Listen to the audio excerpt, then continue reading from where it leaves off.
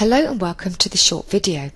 In this video I will demonstrate how to integrate with CCH Accounts Production.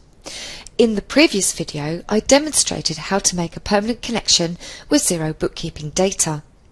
Once I've made that connection I can now synchronize the data into CCH Accounts Production. So to do this, open up the accounting period and then from the left hand side you can see on the menu bar sync with open integration.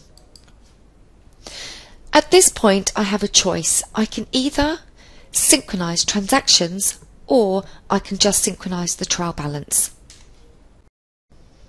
The first time the data is synchronized, the mapping will default to none.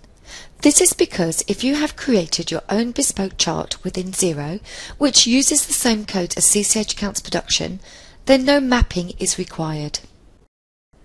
I'm going to choose in this example just to sync with the trial balance. So I need to change the bullet point option to trial balance and then if I click on the down arrow next to the mapping name I'm going to select Xero to Limited FRS 102 and then I'm going to choose Synchronize. I'm going to select Yes to the message because this is the first time I'm synchronizing data.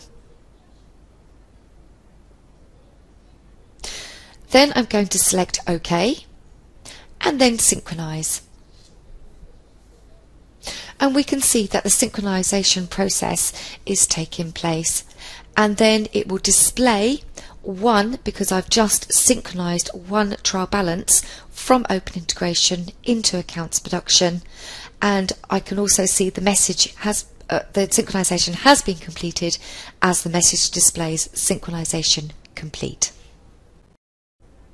I'm now going to check the trial balance and if I drill down through the trial balance we can see here that within the description it will also display the Xero nominal code for sales and I will not be able to edit this transaction due to the fact it has been synchronized from open integration.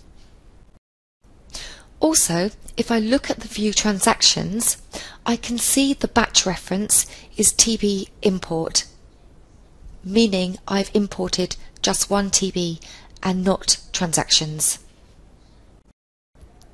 I hope you found this short video useful. Please continue to the next video pushing adjustments back into Xero.